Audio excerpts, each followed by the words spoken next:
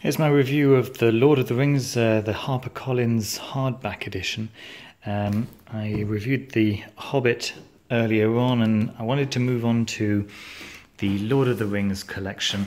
The first thing to notice about the Lord of the Rings collection, um, other than the fact that it's in three volumes, which I really appreciate, and it's the reason why I went with this edition rather than any of the commemorative one volume monsters that are out there, which are very beautiful as well. But I just like these because they're so wieldy. They're they're easy to uh, handle. They're easy to um, pop into your bag um, uh, to to read them during commutes, and um, I think they're I think they're very nice.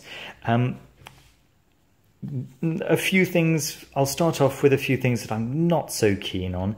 Uh, the first thing being that these covers just kind of seem to stop just before would be ideal. When they're sitting on the shelf, you can see this this white on the left hand side there. Um, if they just um, took the trouble to, to continue this color, it wouldn't be difficult to do. Um, just just uh, I don't know five millimeters to to the left, I think it would have made a world of difference.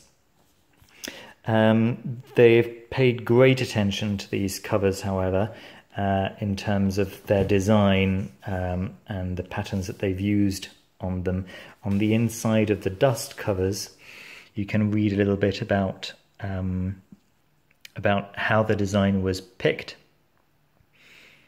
Um, and it's uh, it's it's it's just a very nice dust cover in general. Uh, in terms of the quality of the dust cover, it's the same as the as the uh, dust cover for the Hobbit that I showed you in a previous video. It's uh, it's nice thick card with a glossy interior and a very nice matte exterior that gives it a nice um, a nice feel. I thought I'd start with the dust covers on rather than off because uh, it's easier to take them off during uh, making a video than putting them back on. But I do eventually want to show you what all of these look like with their dust covers off because that's also worth seeing.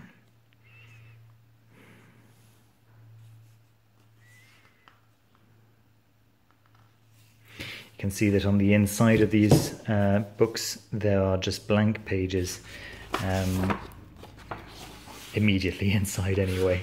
It's not blank pages all the way for sure. Um, that's two. And then the last one, the Fellowship of the Ring.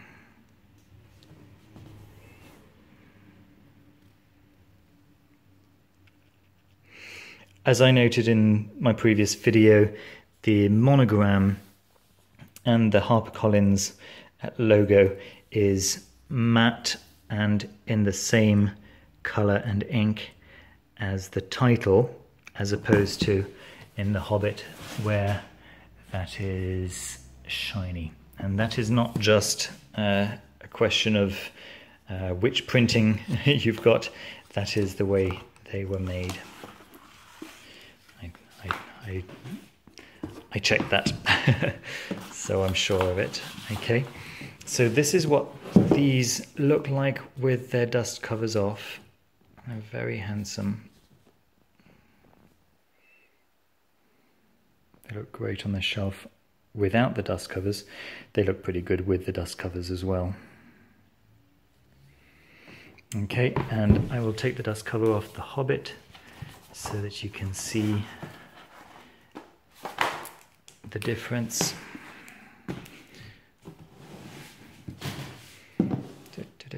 Here we are. So you can see that there's a unity between the um, the Lord of the Rings books um, and the Hobbit one is a slightly different format. Nevertheless, they look very good on the shelf together.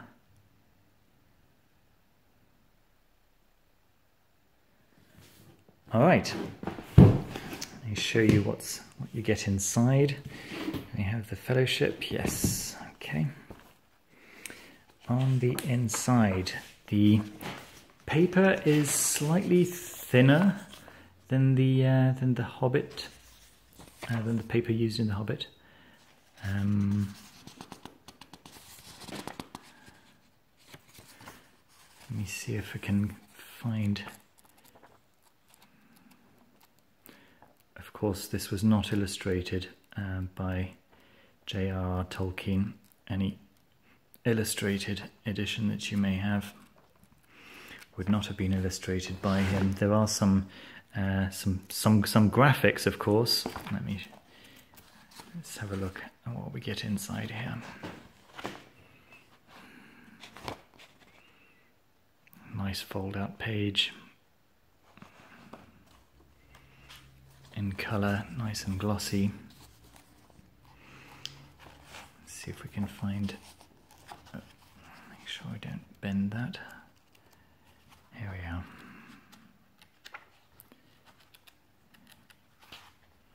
Let's get a picture of the gate here. There we go. So you can see that the uh, that the paper is much thinner than in the Hobbit's uh, edition, since you can actually see through it to the to the um, to the words behind.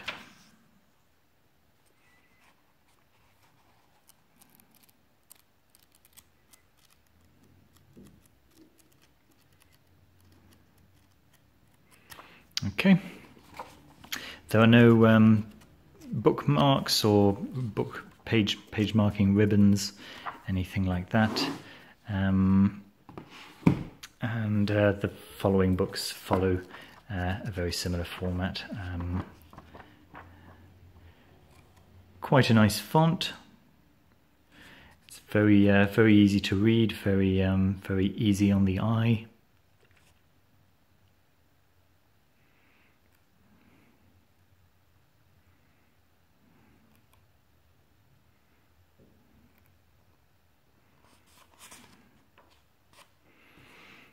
Very few frills. This really is a reader's edition. It's uh, not so much a, a, a work of art, other than the words themselves, of course. Speaking of the edition specifically.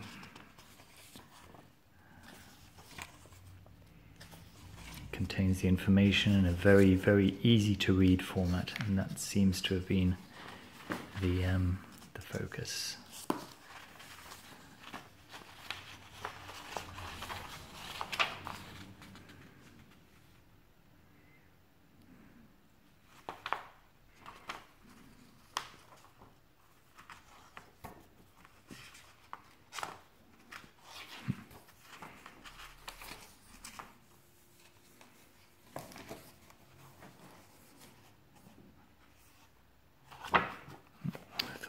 Something to see here. What do we get in the back of the last book? The appendices, of course. Da -da -da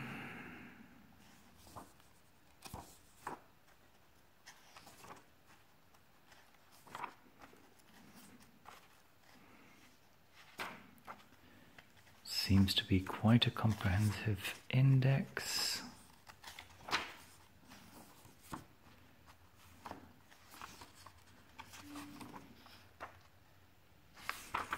Very comprehensive index. How many pages is that?